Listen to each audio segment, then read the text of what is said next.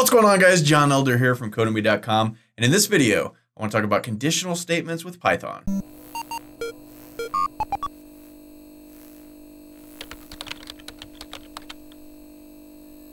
Alright guys, in the last video we talked about comparison operators, how to compare two different things. In this video we're going to take it a step further and look at conditional statements. But before we get started, if you like this video want to see more like it, be sure to smash the like button below, subscribe to the channel, and be sure to check out Codemy.com where I have dozens of courses with hundreds of videos that teach you to code.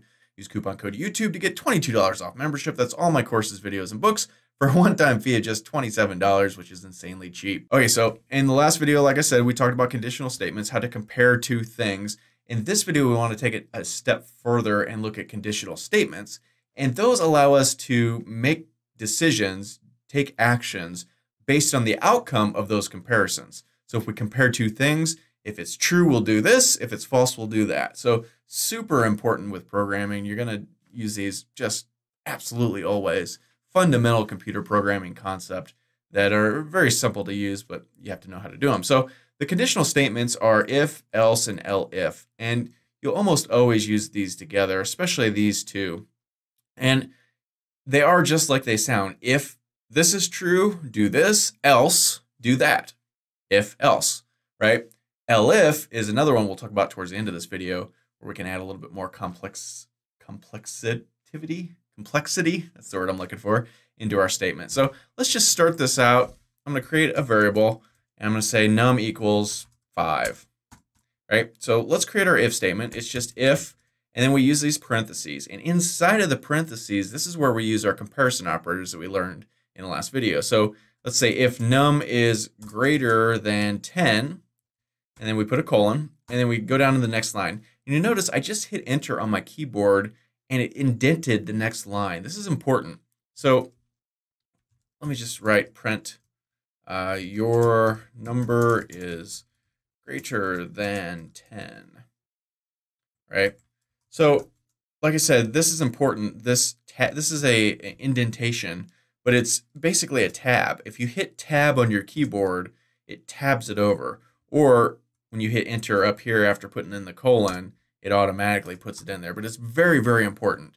Don't put in a couple of spaces like that. That's not right. You want to tab over. And tabs are important in Python. Tab, Python is tab sensitive, if that's an actual word. But uh, the tabs are important, especially with uh, statements like this, if else statements. Um, because Python is going to interpret everything that's tabbed in under this line as being a part of this block of code, this if statement, right? And Python tells that uh, Python can tell that the if statement is ended because it's no longer indented. So like right here, this would go on, uh, this would no longer be a part of your if statement, all this gibberish, right? Because it's not indented. So very important. So let's just save this and run it. And let's go, boom, nothing happens. Why? Well, let's look at the, the program flow here. So we're saying if num, our num is 5. So if 5 is greater than 10, excuse me, do this. Well, our number is not greater than 10, so it doesn't do that. And there's nothing else in our program, so it just ends, right? So that's the if statement. You'll often use the if with the else statement, like I said. And to use an else statement, we just type in else. Now this this else is connected to this if. Like, right? You wouldn't just like create an else statement. You would never ever do that. They always go together, if and else. So else, let's go.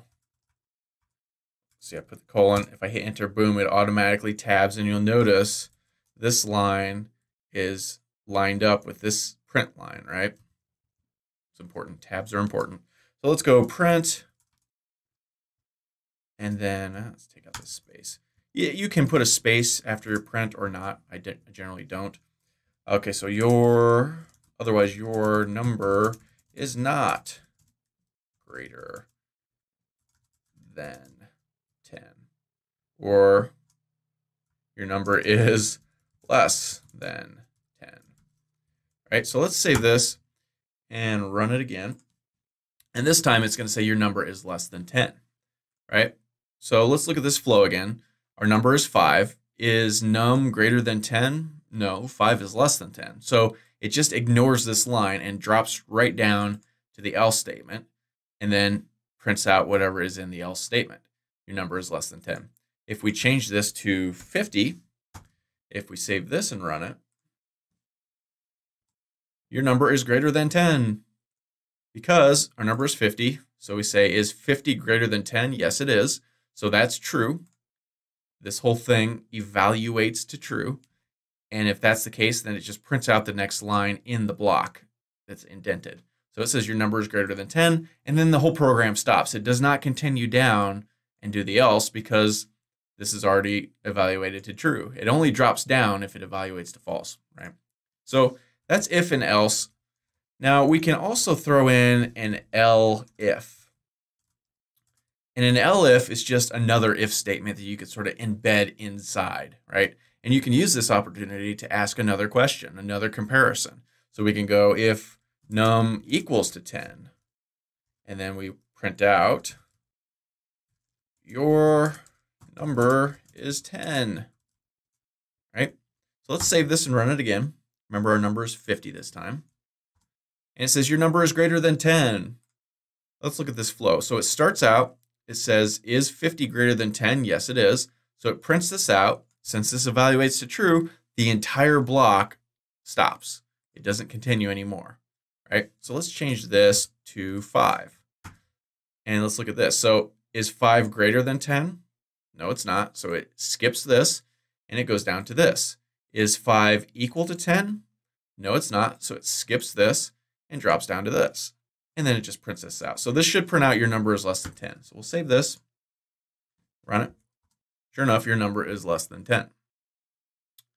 Finally, if we change this to 10 and save it, is number is 10 greater than 10?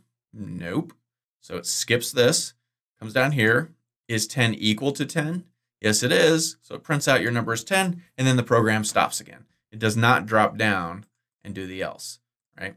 Unless this evaluates to false, then it would, but in our case, it doesn't. 10 does equal 10. So it just should print out your number is 10. So let's save this, run it one last time here. Your number is 10. Pretty cool. So those are conditional statements.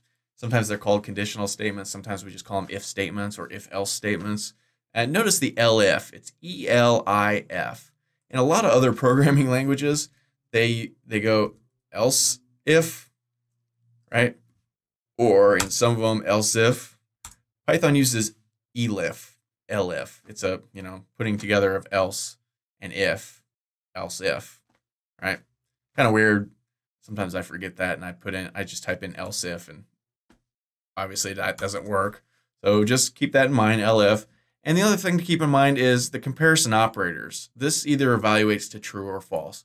If it's true, it does a thing. If it's false, it does another thing. So pretty simple, pretty straightforward. Uh, and those are conditional statements. So that's all for this video. If you liked it, be sure to smash the like button below, subscribe to the channel, and check out Codemy.com where you can use coupon code YouTube to get $22 off membership. So you pay just $27 to access all my courses, hundreds of videos, and the PDF versions of all my best-selling coding books. Join over 50,000 students learning to code just like you. My name is John Elder from Codemy.com. We'll see you in the next video.